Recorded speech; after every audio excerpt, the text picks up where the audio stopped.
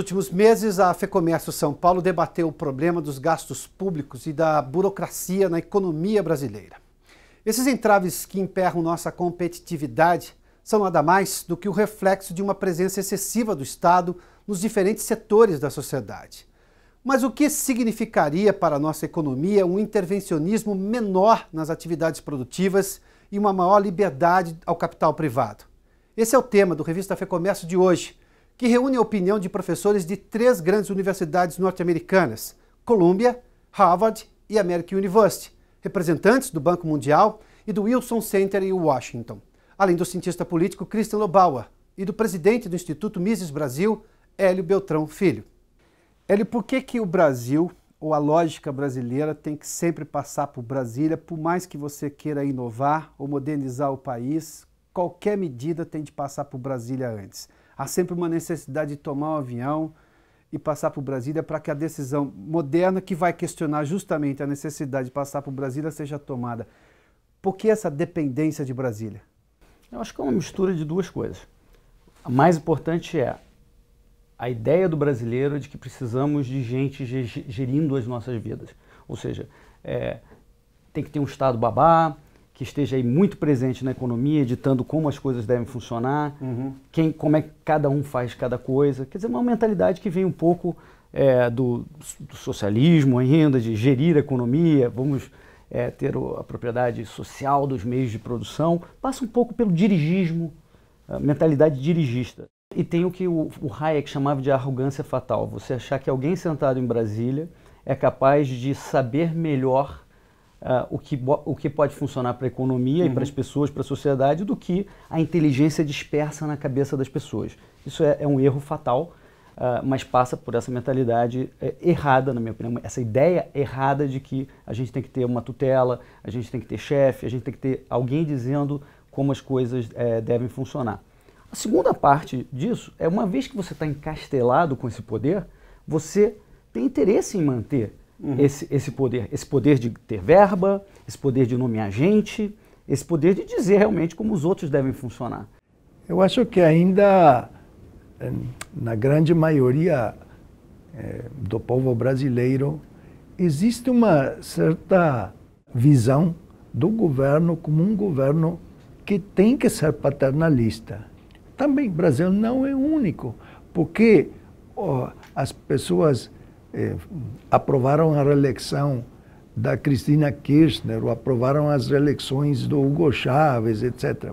Porque eles, em geral, gostavam da, dessa política de eh, eh, dar renda às pessoas mais necessitadas, de resolver os problemas com um decreto, com um, um empréstimo do, do, do, Banco Estatal. O que me parece é que esse país, se ele quiser voltar a um ciclo virtuoso, ele vai ter que aplicar um outro modelo de Estado que nunca foi aplicado na história desse país, que é uma redução verdadeira do tamanho e da, e da, da importância e da presença que o Estado tem na vida do cidadão. A gente tem que começar a pensar, e já tem muitas referências internacionais, uhum. pensadores e gente, brasileiros que pensam e pensaram sobre esses modelos, mas nunca conseguiram fazer, implementar, que é um modelo onde o Estado tem que sair da vida das pessoas. Esse país é um país que tem os números uh, são 36% de carga fiscal, mas quase 50% da riqueza desse país criada vai para as mãos do Estado ele está absolutamente esgotado, ele não tem por onde sair. A gente tem que começar a fazer um, um programa de saída do Estado, da vida das pessoas, de redução dessa tradição centenária de capitalismo de Estado e deixar com que as pessoas e as empresas consigam respirar para começar a reconstruir riqueza e que essa riqueza venha a ser depois transformada em benefício social. Na minha opinião, a interferência do Estado na vida da sociedade ela é inevitável, mas ela pode ser mais simples, mais transparente e com regras mais claras. Ah, um país federativo como o Brasil, uhum. né, os estados, os municípios, o governo federal, você é, é, é, impossível não ter um processo político complicado. Eu não tenho, uh, com todo o meu idealismo, eu não consigo ver essa utopia. Agora, o que eu consigo ver é um processo político em que as lideranças se mostrem mais obsessivas com a qualidade da administração pública.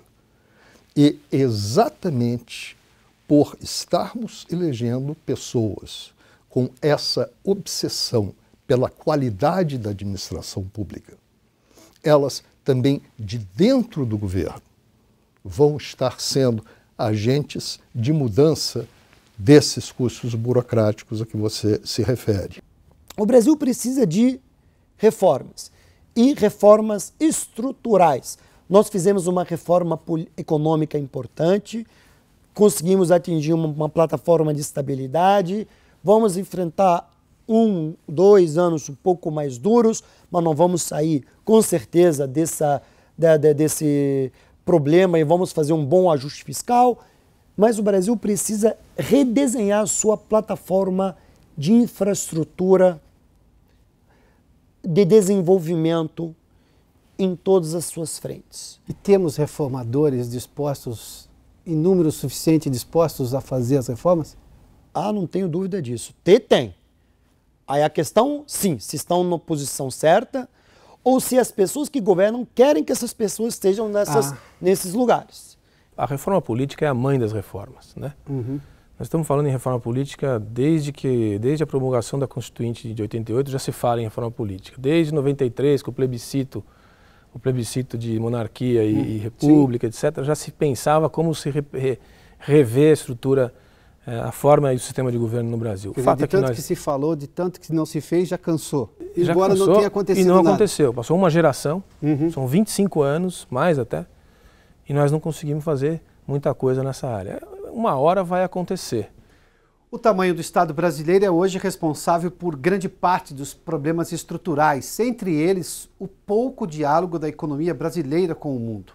E o modelo econômico que se estruturou no Brasil torna a nossa realidade cada vez menos atraente e competitiva. Ah, no Brasil, as pessoas ainda pensam, frequentemente eu vejo colegas meus, economistas e outros, achando que a melhor coisa do mundo é o Brasil ter cadeias de produção densas. É o Brasil fazer tudo. É o Brasil produzir tudo. Produzir tudo dentro de uma cadeia de um determinado setor. Ah, enquanto que não existe país no mundo que faça isso mais. E ao insistir nesse tipo de política, nesse tipo de, de, de fechar, de dar proteção para fechar os elos da cadeia, uhum. isso acaba fazendo com que os processos locais de produção deixem de se beneficiar das inovações tecnológicas que vão ocorrendo em vários dos segmentos intermediários dessas cadeias. Novas tecnologias, novos equipamentos. Então, se perderam oportunidades de fazer coisas novas, bem feitas, em com parcerias com eh, eh, investidores nacionais e estrangeiros. E, por exemplo, todo mundo sabe que o Brasil tem um déficit de infraestrutura. E aí muita coisa que pudesse ser feita hum, pelo setor privado, com modelo de concessões, por exemplo. Não, você não tem que privatizar tudo, não. Mas é, tem muitas obras que nem foram feitas pelo governo, nem foram feitas pelo setor privado. Elas simplesmente não foram feitas. Não foram feitas. É, então, ah, é, isso foi um exemplo de uma, eu diria, parte ideológico, parte problema ideológico de abrir as portas a, a trabalhar junto com o setor privado, é parte também da do, dos funcionários do setor público de quer manter um monopólio em várias áreas, é, porque se você tem monopólio, você tem poder. Poder para fazer coisas direito uhum. de, e também para fazer coisas ruins.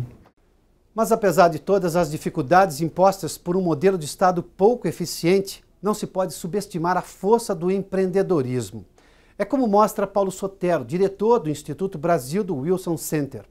Para ele, em países onde as barreiras do Estado são menores, as empresas brasileiras têm um ambiente de negócios mais favorável.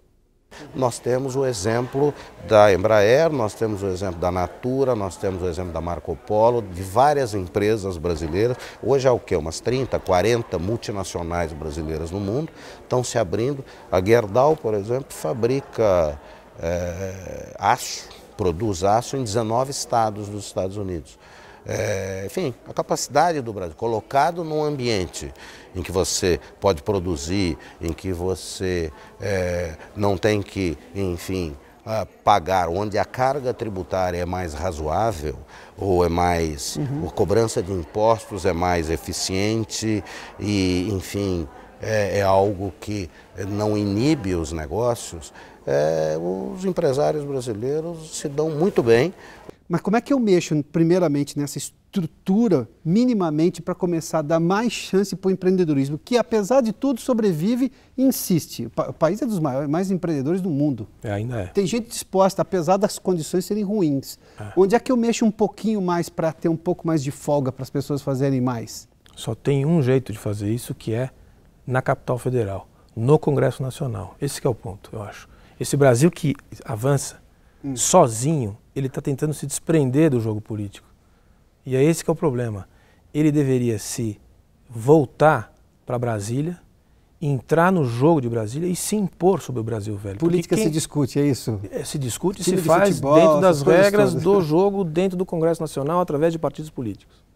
Imagine que a gente queira, queira colocar uma pessoa boa no PCC dentro do PCC para dizer o seguinte: vamos colocar uma pessoa boa no PCC uhum. para eles pararem de matar gente, pararem de ser criminosos, etc.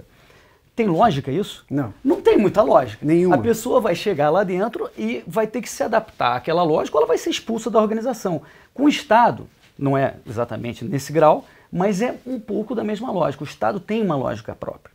Tem a lógica de manter esse poder, de usar essas verbas, de ter acordos de favorecimento e grupos de interesse então a pressão para vencer esse tamanho estatal tem que ser externa, de fora para dentro, e não de lá de dentro. Por isso que eu acho que a gente tem errado. A gente está contando que basta botar a nossa pessoa lá, quando na verdade a gente precisa mudar as ideias aqui fora e aqui de fora a gente fazer a pressão. É, vale esse pensamento de que o Estado tem que ser sempre o exemplo? Ou, ou a, a, mudança vem de cima para baixo ou de baixo para cima? O Estado tem uma obrigação. Sim. Não tem a menor dúvida que o Estado tem uma obrigação. Mas eu não posso ficar só nessa essa posição meramente antagônica em relação ao Estado, sabe? Então, essa coisa, eu vou fazer minha parte, sabe? Não, não, você não tem que suprir o Estado, sabe? Você tem esse problema. Eu vou fazer, vou suprir o Estado, aquela coisa que todo mundo tem. Sabe? Ah, então o Estado não me dá segurança, então eu vou ter uma segurança privada na minha rua porque o Estado não está suprindo. Isso é um problema sério. Você supõe que o Estado tem que dar o básico para você, sabe? Coleta de lixo, esse tipo de coisa, Sim. né? Mas uh, você tem que ter uma cultura, eu concordo plenamente. Quando a gente tenta convencer um político de uma ideia de bom senso, uhum. ele não está muito interessado se você está falando algo coerente, que tenha bom senso, etc., porque ele está preocupado se ele vai ser reeleito. Né? Então ele está muito mais preocupado com o que está na cabeça da base dele, dos eleitores, se ele tem chance de se eleger. Então, no fundo, ele está antenado nas ideias da sociedade. Se as ideias da sociedade forem ruins, se as ideias da sociedade pedirem mais governo, mais tutela, mais Estado babá, mais intrusão governamental, precisamos de mais intrusão, é isso que ele, ele vai ouvir. No momento em que a gente conseguir, e esse é o trabalho longo, difícil, mudar as ideias da sociedade, o faro do político vai levar ele nessa direção. Ele aí vai perceber que as ideias da sua base mudaram. Uhum. E aí ele, com, com esse faro, vai dizer, olha, eu, eu fui, eu sou liberal desde pequenininho, eu quero isso mesmo, menos Estado. Reordenar a posição estratégica do Estado, dividir melhor os poderes, confiar mais na iniciativa privada. O Brasil que esperamos para o futuro começa agora. E o debate no campo das ideias é o primeiro passo para essa mudança. Até a próxima!